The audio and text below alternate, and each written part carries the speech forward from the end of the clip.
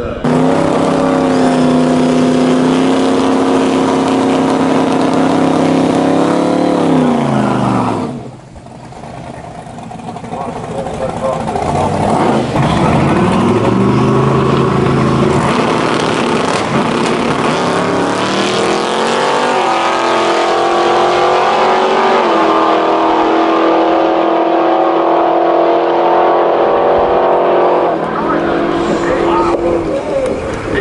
On the ball, he is knocking. 148.7, a new yeah, it was explosive.